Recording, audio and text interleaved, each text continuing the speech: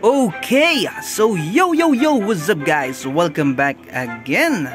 So today, I'm gonna teach you how to download OPM Global. Kasi nga marami tayong mga tropa na gustong magbalik or mag-come back again or return dito sa larong ito lalo na mag-SSR Plus era na. So, wag na nating patagalin to guys. Let's go! So, una pala guys, no, punta lang kayo sa Chrome. Click nyo lang yan. So, mabilis na tutorial lang to. Ayan. Tapos, type natin One Punch Man. Ayan, lumabas na.